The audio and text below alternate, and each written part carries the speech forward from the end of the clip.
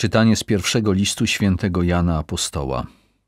Umiłowani, miłujmy się wzajemnie, ponieważ miłość jest z Boga, a każdy, kto miłuje, narodził się z Boga i zna Boga. Kto nie miłuje, nie zna Boga, bo Bóg jest miłością. W tym objawiła się miłość Boga ku nam, że zesłał Syna swego jednorodzonego na świat, abyśmy życie mieli dzięki Niemu. W tym przejawia się miłość, że nie my umiłowaliśmy Boga, ale że On sam nas umiłował i posłał Syna swojego jako ofiarę przebłagalną za nasze grzechy. Umiłowani, jeśli Bóg nas tak umiłował, to i my winniśmy się wzajemnie miłować. Nikt nigdy Boga nie oglądał.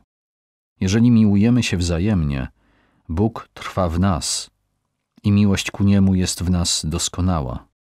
Poznajemy, że my trwamy w Nim, a On w nas, bo udzielił nam ze swego ducha.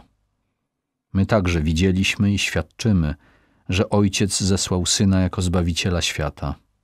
Jeśli ktoś wyznaje, że Jezus jest Synem Bożym, to Bóg trwa w Nim, a On w Bogu. My poznaliśmy i uwierzyliśmy miłości, jaką Bóg ma ku nam. Bóg jest miłością.